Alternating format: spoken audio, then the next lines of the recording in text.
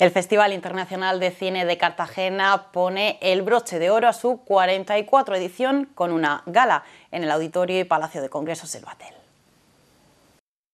El sábado por la noche el Festival Internacional de Cine de Cartagena ponía fin a su 44 singladura. En el palmarés el director cartagenero Miguel Alcantud recibió el premio FIC Gas Natural Fenosa un galardón con el que se pretende destacar el trabajo que la gente de la región realiza dentro del mundo del cine.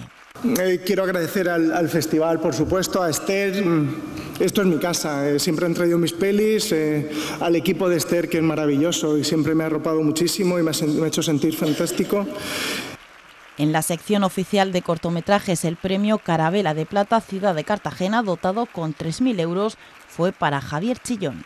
Y siempre lo digo y, y realmente lo siento así a todo el equipo que participó en el corto que fue complicadísimo rodar desde el principio hasta el final, así que para el equipo técnico y artístico va este premio. Gracias.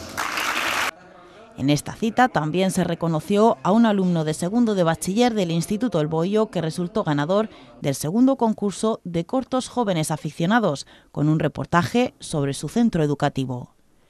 Con estos y otros premios se ponía fin a varias semanas de actividades de todo tipo que han tenido el cine como único protagonista.